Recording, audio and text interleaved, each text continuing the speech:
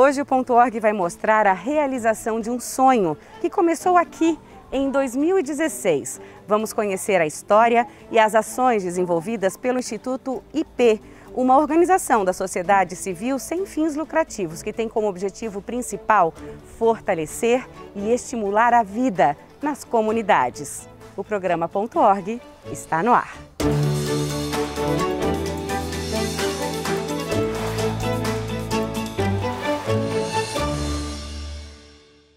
As ações de desenvolvimento socio-humanitária acontecem especialmente nos bairros Ipiranga, comunidade do Pedregal, e Vila Boa Esperança e Jardim Cidade, no município de São José. O Instituto também oferece cursos e oficinas educacionais e profissionalizantes, além de atividades culturais, esportivas e de socialização.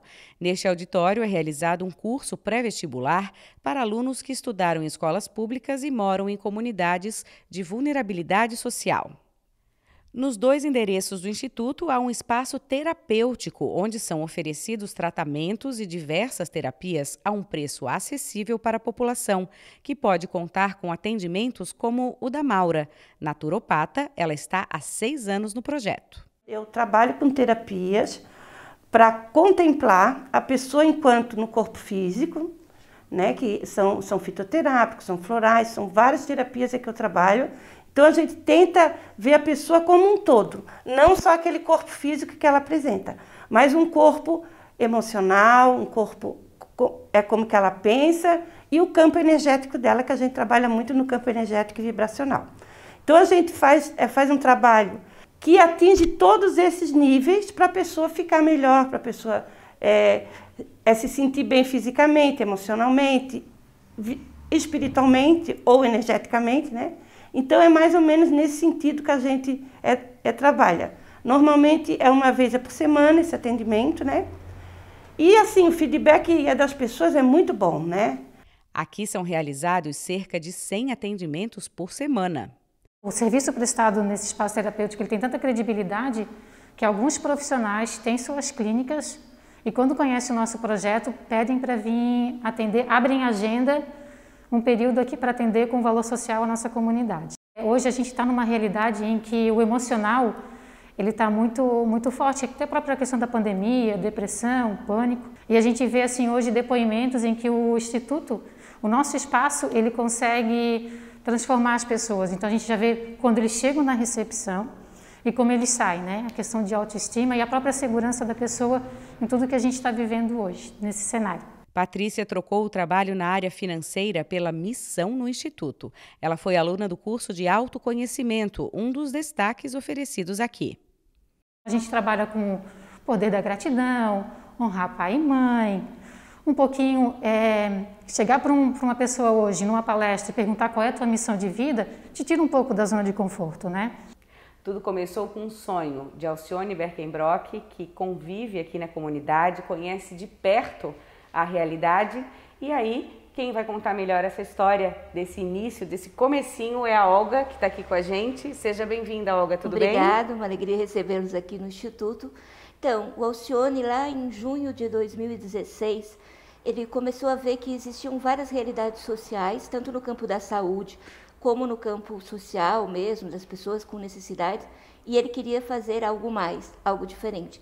Então começou-se um atendimento com terapias, alguns psicólogos, alguns parapsicólogos profissionais começaram a procurar ele dizendo que gostariam de atender.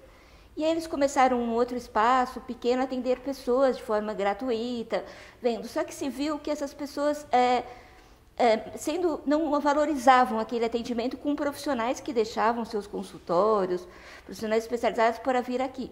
Então começou a se organizar um pequeno centro de atendimento é, numa outra casa migramos para essa casa aqui e hoje né, é, nós temos aí mais de é, 40 terapias de formas integrativas, terapias holísticas, outras terapias que a gente trabalha uh, no Instituto. Né? Vamos falar nesse tempo de Instituto, né? quais as mudanças mais perceptíveis na, na sua opinião? Quais as mudanças positivas? A gente toma um susto até, né? porque a gente começou pequenininho, não imaginava né, que ia se tornar essa proporção, né?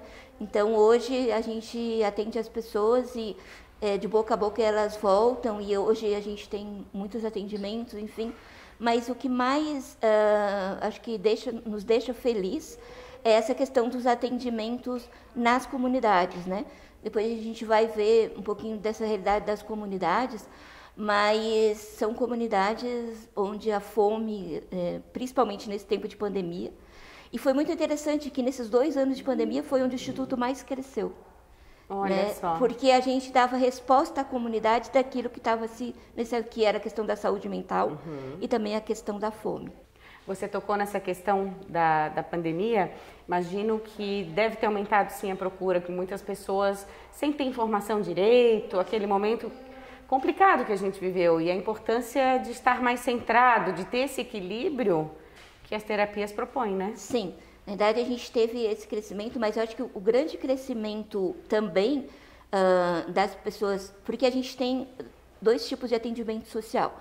Um atendimento que é aqui, que tem um preço é, módico, digamos assim, a gente tem pacotes, e lá no Pedregal, onde a gente tem a nossa outra, outra sede, a gente tem a preços mais populares ainda, uhum. para que a gente possa atender aquela pessoa uh, lá da comunidade. Né? E aí, em plena pandemia, nasceu é, o Vale Social, que foi um projeto é, pensado pelo Alcione, um grupo de pessoas. Né, a gente se reuniu durante a pandemia com todo aquele medo, que era logo no início, né? A gente não sabia muito o que fazer, tinha medo de se encontrar, mas ao mesmo tempo a gente via que a gente não poderia ficar omisso, uhum. né? A gente teria que fazer alguma coisa por aquelas pessoas, né, que, que são da nossa comunidade. E aí nasceu é, o Vale Social IP, né? E ele, durante ele, a gente fez uma parceria com empresários é, da comunidade do Pedregal, onde 10 empresários toparam. Então, não, a gente está junto com vocês. Como é que funciona? Então, a gente criou o Vale, é, que se chama IP Social, Vale IP Social, que ele funciona nos moldes dos bancos comunitários que tem no Nordeste. Mas a gente não tinha cacife, digamos, para ser um banco comunitário. Então, a gente pensa muito que a gente começa pequeno, e depois a gente vai vendo ali cada realidade. Então, é, um IP, ele vale dois reais, né? E ele sempre tem como é, o lastro, né? A gente tem ali que tem sempre esse dinheiro no banco, por exemplo, a gente tem sempre seis, oito mil reais no banco e a gente distribui é, para essas famílias do Vale. Como é que funciona essa, esse Vale? A gente fez um censo em plena pandemia na comunidade, com um questionário socioeconômico super rígido, com várias perguntas, com assistentes sociais, psicólogos, uhum. enfim. Fomos de casa em casa e foi escolhido essas famílias. Né? Então, nós iniciamos ali com 20, 25 famílias. E essas famílias, uh, cada mês, elas, uh, cada três meses, elas recebiam esse vale, 200 reais em IP. Né? Uhum. Né? IP aí, é uma moeda social. É uma social. moeda social, que tá. é um vale, né? uhum. né? E aí elas poderiam comprar nessas no mercadinho, na farmácia, é, será cabeleireiro, no lanche, enfim, nesses parceiros que a gente fez com a moeda. Porque qual é a nossa ideia? A gente nunca quer ser assistencialista. Uhum. A gente acha que assistencialismo, ah, a pessoa precisa matar a fome, ela está com fome, ela precisa de comida, mas a gente quer ir além. Uhum. Então, a gente queria também resgatar essa dignidade de uma mãe poder levar o filho fazer um lanche, ou ir num cabeleireiro cortar o cabelo, uhum. enfim, né, da necessidade. Na farmácia, não só para comprar remédio, mas que pudesse comprar um perfume, uma maquiagem, alguma coisa que naquele tempo, né, nesse tempo de pandemia, elas pudessem é, realmente ter essa, essa dignidade. Né? Como é que o Vale Social foi recebido pela comunidade? Para nossa surpresa, a gente tinha muito assim, ah, será que vai ser falsificado? Será que não vai? Foi muito bem recebido. A gente está aí com dois anos de Vale é, o vale circulando na comunidade, né, as pessoas é, trocando, fazendo as compras. E o mais legal de todos, hoje a gente só tem 10 famílias que recebem o vale. Uhum. E agora, em dezembro, a gente teria uma entrega de vale. E a gente fez um novo censo e percebeu que das 20 famílias, elas não precisam mais receber o vale social. Olha. Porque a gente foi acompanhando e teve palestras e teve uh, várias formações e teve, enfim, essas pessoas já conseguiram emprego, já conseguiram trabalho, então elas continuam no que surgiu uma novidade nesse ano, que foi o programa da rede comunitária IP. Ou seja, a gente tem pessoas que vão receber o Vale Social, mas a gente tem pessoas que vão ser acompanhadas com palestras, A gente tem o projeto dos jovens, que é o Decola Galera, que trabalha na questão da autoestima e das profissões. A gente tem, que é com a Priscila Soares. A gente tem o Banco de Talentos, que é com a Jane, é, que são todas profissionais, coaches de desenvolvimento, que vão trabalhar, por exemplo, currículos, primeiro emprego, todas as, com esses jovens e com os adultos também que não têm emprego. A gente tem roda de conversa com as mulheres, né, quando elas vêm receber, sempre um. A gente fez uma, uma parceria com a subseção dos alunos da OAB de São José, onde, junto com os advogados, eles têm nos ajudado com as famílias, questão de pensão, enfim, as coisas, várias parcerias que a gente realiza. São ações de fortalecimento? De fortalecimento. Em várias áreas, e eu achei interessante que você falou também, essa questão de vocês estarem nas comunidades, mas estarem muito focadas. Vocês ouvem as comunidades, vocês conhecem a realidade e propõem as ações que realmente a comunidade precisa, é, né? Na realidade, quando a gente pensou o programa da rede comunitária, às vezes as pessoas dizem, ah, é só para 20 pessoas ou só para 25 pessoas. Não, a gente não, a gente não vê assim. A gente vê que a gente quer que em três anos essas 20 ou 25 pessoas estejam com a sua vida transformada. Uhum. Então foi quando é, do Vale Social a gente passou para o programa e ele é dividido em núcleos que trabalha a questão de sustentabilidade do próprio programa, ou seja, a gente tem atividades como a gente faz dois bazares lá no IP em cima, que é o Bazar do Cacareco, que é o sucesso, e que é o Bazar de Roupas e Sapatos. E a gente também faz um bingo anualmente, uma tarde de prêmios para a gente arrecadar fundos para manter tudo isso do, da, do, programa da rede comunitária. Vocês não param, estão sempre inovando. Quero Sim. saber o que, que já tem assim de, de previsão para o novo ano. Então, a gente é, esse ano a gente começou a horta comunitária. Também a pessoa vai lá um dia da semana, essas pessoas da, da, da rede que fazem parte, elas trabalham e elas levam o fruto ali para casa do que tiver ali na horta naquele momento. A gente também tem parceria com o Instituto Fontes, outros, outras realidades com a Ação Social Arquidiocesana, com a ASA, várias parcerias que nos ajudam. Para o próximo ano, a gente tem alguns sonhos né, que a gente está trabalhando para realizar, como um restaurante social, é, com alimentação a R$ 4,99, ali naquela região também ali do Pedregal, porque a gente sabe que vai ajudar muito ali todas as famílias, e aí o restaurante não vai ser só para as famílias do projeto, mas vai ser para a comunidade uhum. uh, geral. A gente também está com planos de um ateliê social. A gente, tem, a gente ganhou é, algumas máquinas de costura e a gente quer promover um ateliê social onde a gente vai ensinar essas mulheres a costurar.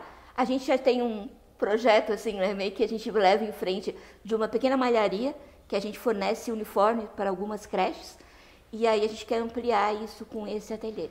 E a ideia sempre a gente já teve é, uma parceria com uma gráfica e aí agora ela caminha sozinha. Então a ideia é que a gente seja um pouco essa incubadora de pequenos negócios sociais e que cresça. Para o ano que vem também a gente pensa num nanocrédito, uhum. ou seja, é, fazer compras para a comunidade. Ah. o IP faz a compra e eles nos pagam parcelado. A gente paga à vista no comércio uhum. e eles nos pagam parcelado. A gente está estudando como fazer isso e tudo. Tá. Mas a gente vê que Quanto mais a pessoa tiver a vida transformada, ela tiver essa dignidade de poder adquirir as coisas, né? Então, dentro do, do, do projeto núcleo da rede comunitária, a gente tem um núcleo que a gente chama de núcleo Francisco, que ele quer, no próximo ano, ele quer trabalhar com a educação. Uhum. É, desculpa, com a transformação nas casas das famílias. O Instituto também está presente nesta sede, localizada no bairro Pedregal.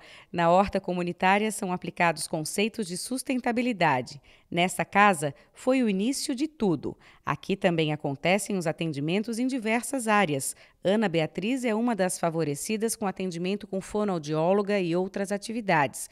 Com autismo, ela frequenta o Instituto três vezes por semana. Hoje mostramos que a união, o planejamento e a boa vontade fazem a força. Em lugares como este, a comunidade encontra acolhimento e apoio, uma boa dose de coragem e incentivo para enfrentar as adversidades da vida.